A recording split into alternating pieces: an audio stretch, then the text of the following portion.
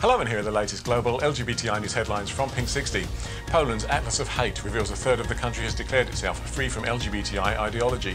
Lawmakers in these regions have passed resolutions vowing not to offer support to equality groups and to oppose pride events, breaking EU law. The Anglican Church in Ireland has ignored its own Committee on Social Affairs, which has recommended it accept same sex marriage. The commission was established by the General Synod in 2013, but it seems their advice fell on deaf ears. Democrat Ro Khanna has submitted a bill for US passports to include a non-binary gender option. If passed, it would allow trans, non-binary and intersex Americans to better define themselves for international travel and in states which don't allow third gender markers. Politician Arsen Bauk has filed a complaint against the organisers of the Imotski Carnival in Croatia, where an effigy of a gay family was set alight last weekend. The Split Municipal Prosecutor's Office has instructed the police to investigate the incident. And finally, nominees for the Manhattan Association of Cabarets and Clubs, MAC Awards, have been announced with awards for Best Drag, Piano Bar Singer and Celebrity Artiste. Presentations on March the 30th are going to be a pretty fabulous affair.